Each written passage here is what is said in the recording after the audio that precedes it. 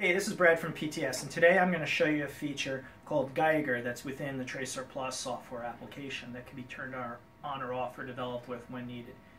Um, if you've been part of the TracerPlus community for a while, you've probably heard us talk about RFID quite a bit. And um, if you haven't seen our video yet on MCA Tile, please watch it. We're going to show it as a link here at the end of this video. But it's about a customer who took a 172 hour inventory and turned it into an 8 hour inventory. But for today's video, we're going to talk about Geiger. And it's a great feature that allows people to quickly find items, whether it be in a room like within this, or maybe you want to know if an item is in the room, period.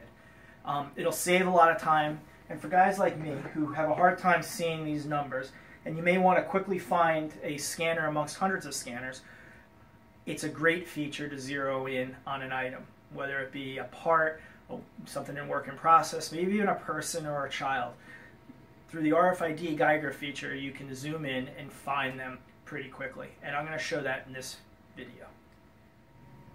Okay, for the purpose of this video, I had Joe, one of our solution architects, set up a quick application, which you'll see on this side of the screen. And I'm going to locate an asset really quickly. And again, this is a smaller RFID tag, so it's got a closer range, but it's going to allow us to quickly, without looking or getting my glasses out or barcode scanning, find the appropriate item. Now you have to imagine you have hundreds of items here. We don't have hundreds of the same scanner, but we're going to quickly scan and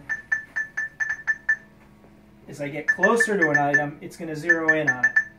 So we know it's not this, we know it's here, it's not there. There it is. I didn't have to look at it, I found it. And that's Geiger in action. As you know, there's a lot of different variables within a uh, RFID application. You can turn the power all the way up in the handheld, and you can use different tags that have longer ranges. So for certain Geiger applications where the, uh, the space of the tag permits, you can really get a long range. So for example, here we put a tag that's on metal um, that has up to a 20 foot range. Now we commonly see these type of tags being used in hospital equipment. Maybe you do not want to go into a room and you just want to stick your hand into a room